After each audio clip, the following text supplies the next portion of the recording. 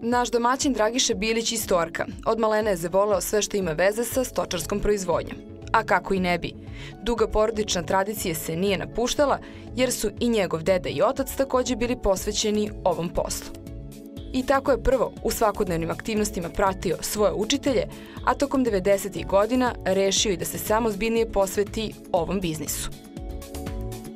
Svakako da imam više grla nego tada što sam imao 90-ih. Tada sam imao dosta manje, tada sam bio u usponom. E, imao sam nekih 5-6 goveda, krenuo sam tada s tim, hvala Bogu, eto, ovaj, imali, smo i, imali smo i uslove tada bolje. Više je bilo pašnjaka, obradivih ovaj, zemljišta koje smo mogli da, da koristimo mi stočari i ovaj, lako je bilo započeti tada.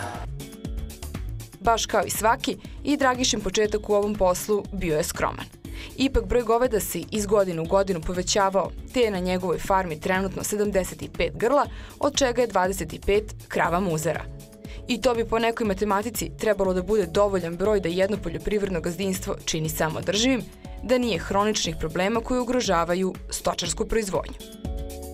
Nažalost, moje kolege, mnoge iz sela imaju te probleme sa otkupom mleka. E, mlekari neredovno plaćaju i ono što plaćaju to je neka mizerna cena 20 i nešto dinara, što je, što je ovaj, u našoj priči smiješna cena. Trebalo bi bar po našoj nekoj logici, trebalo bi cena mleka da bude bar nekih 40 dinara da bi mogli da opstanemo na toj nekoj pozitivnoj nuli, da, da nismo u gubitku, tako reći. Jer ovaj posao je veoma nezahvalan. 365 dana godišnje smo aktivni, nemamo godišnjih odmora, nemamo praznika, znači svaki dan konstantno ista priča.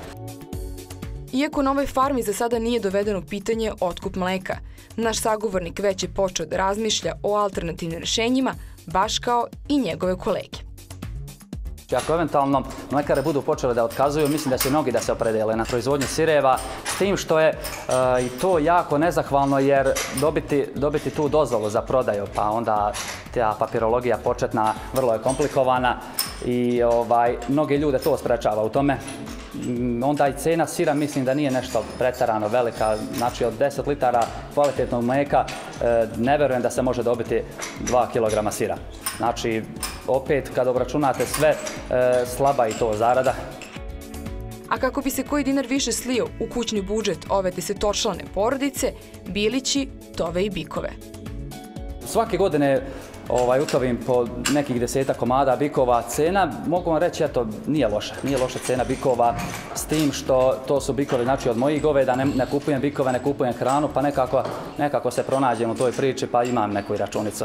Znači, eto, ispod 10 komada bikova toviti i prodavati, mislim da nema neke, neke velike računice kao i u svakom poslu, znači što, god, što se više baviš u većem nivou kad radiš, normalno da će i računica nekada bude.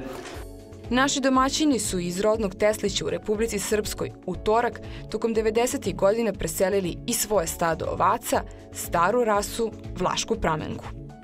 Ja sam rešio da, da i dalje nastavim da držim pramenke zato što su one za ove uslove izuzetno pogodne. E, ne pate od tih nekih savremenih bolesti kao, kao recimo de France ili Merino ili ove ostale koje, su, koje se trenutno ovde ovaj, drže. Jedan primer samo da vam navedem. Kod pramenke ovaca.